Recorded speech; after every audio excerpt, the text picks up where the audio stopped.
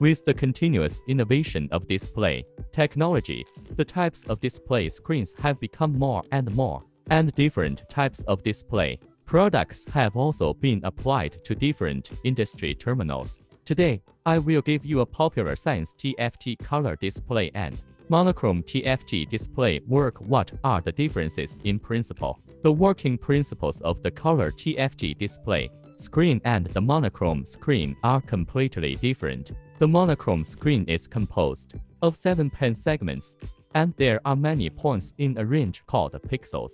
The monochrome screen is composed of fixed size point composition. These points are arranged in an array. For example, 12864 is composed of horizontal 128 vertical 64 points. There are many names for monochrome screens, such as pen segment, LCD screen pattern LCD, screen dot matrix screen broken code screen and so on.